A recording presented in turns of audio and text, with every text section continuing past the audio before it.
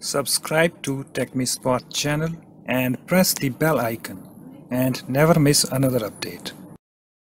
Hi guys, in this tutorial I'm going to show you how to enable or disable restricted mode in YouTube app on Android okay? So what you need to do you need to open your YouTube app on your Android okay? So let me open. So here I have my YouTube app. Let me tap on it to open it. So it's now opened and guys after that you, you need to tap on this uh, your profile picture at the top right. And after that you need to tap on this settings. And guys you need to tap on this general. And you need to scroll down.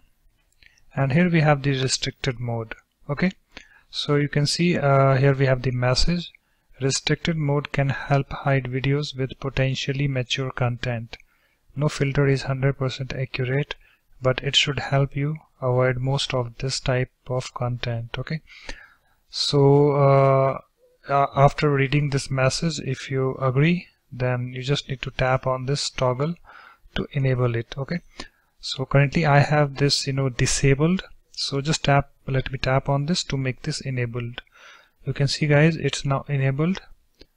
Uh, okay? So the restricted mode is now enabled and guys suppose if you want to disable it you need to come over here again and you just need to tap on this switcher to make it off okay so let me tap on this you can see it is now off so guys in this way you can easily enable or disable restricted mode in YouTube app on Android. So that's it guys. Thanks for watching. If you like my videos, please support this channel by subscribing to it. Thanks. Bye bye.